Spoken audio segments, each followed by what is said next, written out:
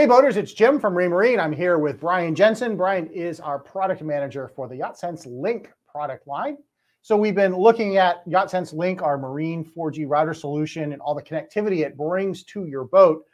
I understand there might be times when you might have to disconnect this. Maybe you're going to move it to another boat or get it serviced or something like that. There's a little procedure called offboarding. Why is that important, Brian? Yeah, so when you uh, onboard the router and um, the app, um, you're basically creating a connection, a okay. connection between the device, the router, um, your own account with us, okay. and uh, the mobile app. And why it's so important is because if you wanted to repurpose the router, like transferring it to a different boat, mm-hmm. if you wanted to get it serviced, if you wanted to upgrade or something like that, you want to basically unconnect your information from the router. So actually, eh, you know, if we were to do it as a return, we would actually ask you to go through this process if you were going to be sending us the router back for service or or exchange or something like that. So it's really critical that you go through this step. But the good news is it's very easy to do right within the app. So I can go ahead and show that. Sure. Yeah. Let's take a look at it right here on the app. So when you go into the app, you're going to up here, there's going to be a hamburger menu up on the upper left. And when you click on that, you're going to see your boat connection come up. It's actually going to be colored in green to show that you're connected. And then you're going to see your actual device. So in this case, you could see the YachtSense Link device. So I'm going to go ahead and I'm going to tap on that. and a menu is going to appear on the bottom.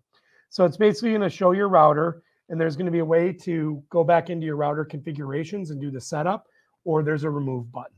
So I'm just going to go ahead and hit that remove button. It's going to ask me to confirm. This is the point of no return. Right? Point of no return. So be ca- be careful when you do it. The good news is you can reset it up. It's very easy.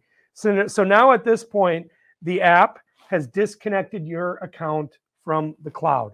But there is one final step to fully offboard the router before you can onboard it again. Okay. And that's basically just to run a power cycle on the router here.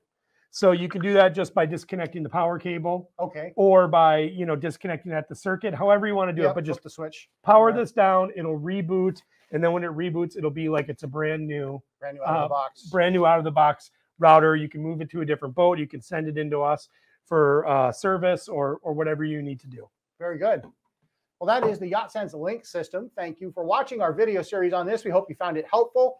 Uh, hope you found some great tips in there for getting your system set up and online.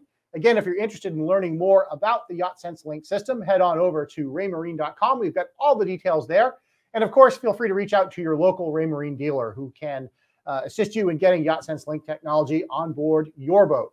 Thank you for watching. Until next time, we'll see you later and have safe time out there on the water. Bye bye.